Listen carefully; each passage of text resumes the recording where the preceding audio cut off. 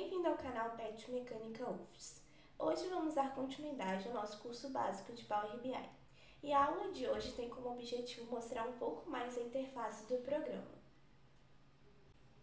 Logo quando você faz a instalação e abre o Power BI, essa vai ser a tela inicial. Ela vai variar um pouco de acordo com a versão que você está utilizando.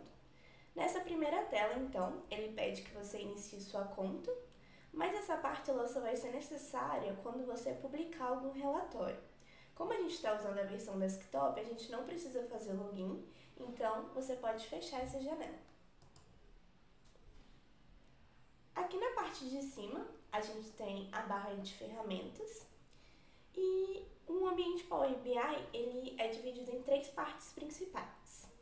A aba de relatórios, a aba de dados e a aba de modelo. A primeira aba, ela é a aba de relatórios. Ela é uma das principais áreas de trabalho, que vai ser nela onde a gente vai criar, visualizar e interagir com os dados no painel de informações.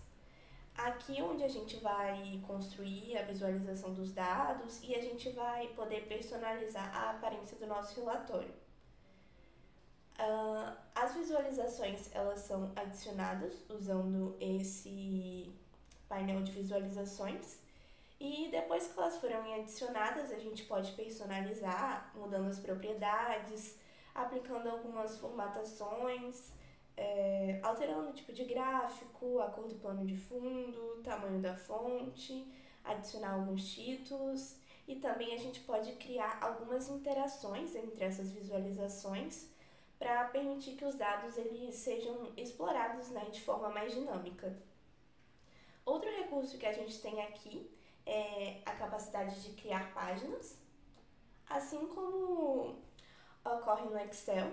E essas páginas, elas vão permitir que a gente organize as visualizações em diferentes seções e perspectivas dos dados, né? Por exemplo, a gente pode ter uma página para análise de vendas, outra para análise de marketing e assim por diante. E isso ajuda muito a manter o relatório organizado. A segunda aba é a aba de dados. Vai ser aqui onde a gente vai visualizar as tabelas que vão ser importadas, é, a tela está em branco, né? Porque a gente não tem nenhuma tabela importada, mas assim que eles forem importados, eles vão ser visualizados nessa aba. Eles são importados aqui nessa parte de obter dados.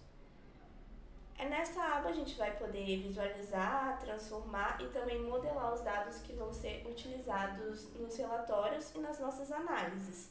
Aqui a gente vai ter algumas ferramentas para manipular os dados de acordo com as nossas necessidades e vai ser um espaço onde a gente pode transformar e modelar os nossos dados antes de criar as visualizações dos relatórios.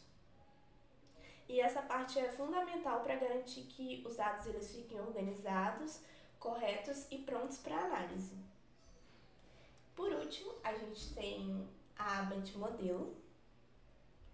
E vai ser aqui onde a gente vai fazer o relacionamento entre as tabelas depois que a gente importar os dados para o Power BI. É meio que a gente puxar informação de uma tabela para outra. Então a gente pode definir relacionamentos entre as tabelas com base em colunas comuns, o que vai ajudar a estabelecer uma lógica de como essas tabelas são conectadas entre si.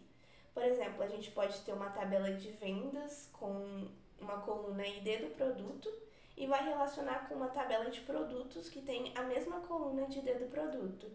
Isso vai permitir que a gente vincule algumas informações relevantes entre as tabelas. Por fim, tem uma configuração inicial que eu gosto de fazer. Então eu venho aqui em arquivo, opções configurações, opções, aí ele vai abrir a janela com as configurações Aqui em arquivo atual, em carregamento de dados, geralmente ele vem com essa opção marcada, que é detectar automaticamente novos relacionamentos depois que os dados são carregados. O que essa opção faz? Então, ela, depois que os dados forem carregados, ela vai tentar descobrir o relacionamento entre as tabelas que não tem relacionamento e vai criar. Ou seja, ela vai criar o relacionamento entre as tabelas de forma automática.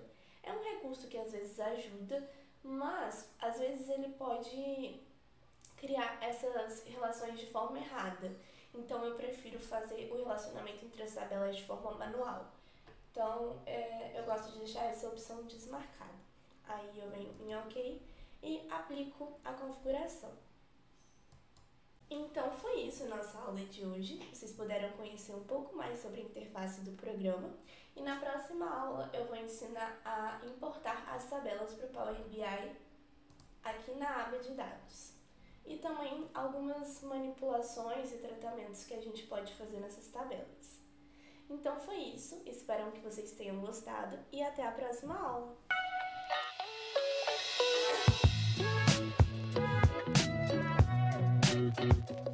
Bye.